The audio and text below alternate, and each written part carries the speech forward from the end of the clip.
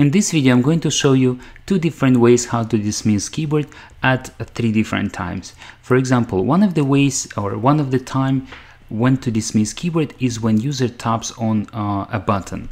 For example, in my application I have uh, one search field, one text field and one search button. If I tap into text field, um, I don't get um, my keyboard does not uh, show up. So if um, in your case keyboard does not show up as well go to hardware keyboard and then toggle software keyboard.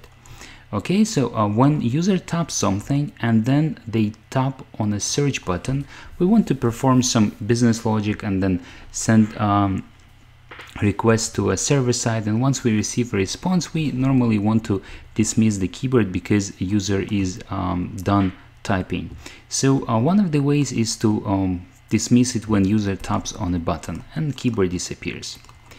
Uh, another way is of course you, to use um, the device keyboard and on device keyboard we have a return button and normally return button is enabled but when you tap on it uh, it does not dismiss a keyboard. So uh, in uh, my application, I'm going to change return uh, the default return button into a different button like done. And when a user taps on this button, uh, we will dismiss the keyboard. And another way to dismiss the keyboard or another uh, good time uh, to dismiss the keyboard is when user taps away somewhere on the view. Normally it means that user wants to dismiss the keyboard. Like they're they're done uh, working with this uh, text field and um, they want to they want the keyboard to be dismissed. So we will uh, in this example we'll consider each one of this uh, the button tap the view tap and the uh, return button tap on the keyboard. Okay? So I will stop this example and I will go to uh, my uh, new project. I will create iOS application single view application and I will call it uh, my dismiss keyboard example.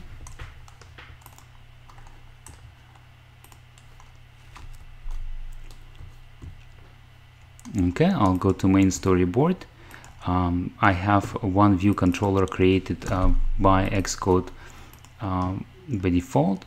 So I'll resize it to 4 inch. And I will uh, grab now I'll find the text field.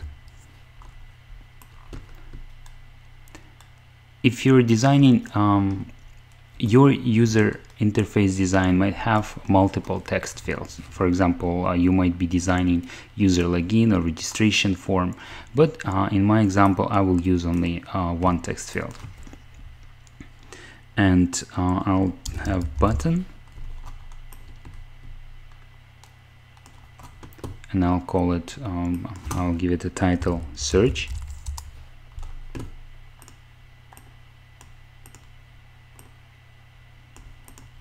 mm -hmm. and that's it okay so um, if I run my example now with iPhone 5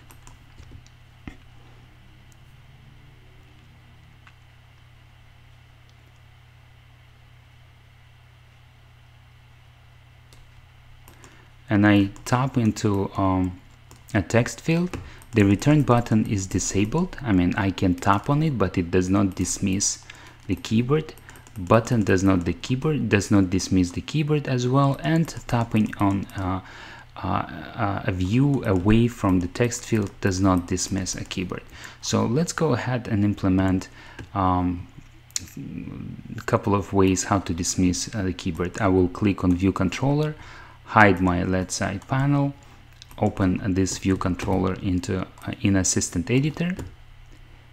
And first of all I want to create a couple of outlets. So I'll click on a text field hold control button on my keyboard drag and drop it here. And the first outlet I'll call my text field. Okay? Uh, the next outlet I'll create for my search button.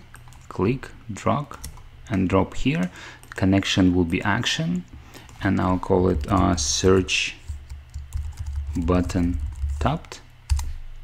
Okay? And I'll make use of this function right away. Okay? So the first uh, way to uh, dismiss the keyboard is to simply uh, refer the text field and call the function resign resign first responder this will dismiss uh, the keyboard if the cursor was in this text field. If you have multiple text fields, for example, you you're designing a registration form, then most probably you will have to, because you never know which text field user is currently editing so you might want to implement resign first responder for every single field. Text field uh, 1 text field 2 text field 3 and, and um, etc but there is another way how to dismiss uh, keyboard um, as well. So let's run this example and see if our uh, search um, button uh, works and dismisses the keyboard okay so I'm here. I tap on search button and keyboard dismisses. If I tap away keyboard does not dismiss. Okay that works. Okay so now let's implement um, let's activate uh, the keyboard uh, keyboard's return button. I will open a left side uh, I mean right side panel and I will select make sure my text field is selected and then I'll scroll down a little bit and under here, um, here are some keyboard settings. I can uh, choose a different type return key. So I can uh, have um, go Google join next or something like send or done. So I'll, I'll choose done. Okay and then um, I will hide it. I don't need it anymore. And then I will uh, hold control button on my keyboard, click on the text field, drag onto this uh, very first button uh, with the view controller pop over and then dismiss. Uh, and then release I mean and under the outlets I want to select delegate. So now I've established a delegate and um, I will go back to my source code. I'll put comma here and I want to implement one of the delegates um, functions. And this delegate is from UI text field delegate. So now our view controller once we I, once we add UI text field delegate uh, our view controller um, conforms to a protocol. And if I hold control button on my keyboard and click on UI text field delegate I can see uh, which functions uh, um, from this protocol I can implement okay and the one at the bottom is uh, the one I'm looking for. It's called text field should return. And if you read the com uh, comments here it says called when return key pressed.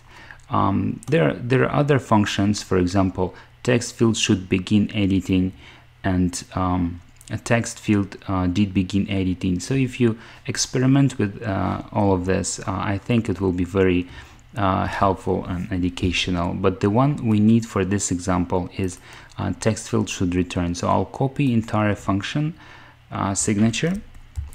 I'll go back to my code and I'll paste it here. Uh, and this function uh, returns um, boolean. So I will return true uh, and of course I want to dismiss uh, my uh, keyboard when um, this function is called. So I will uh, copy this um, code and paste it here as well. And uh, what we uh, do here is we um, refer to our text field and we say resign first responder for this text field. So now if I run this code again and a tap on the done button on my keyboard this time uh, mobile device keyboard. This function should um, be called. So if I tap in I see that uh, my button on the keyboard return button on the keyboard is now of different type. Uh, it is a done button and when I tap on it I get this function um, um, called. For example if I go away to a different source code and then I will just run this again. And I'll put a breakpoint.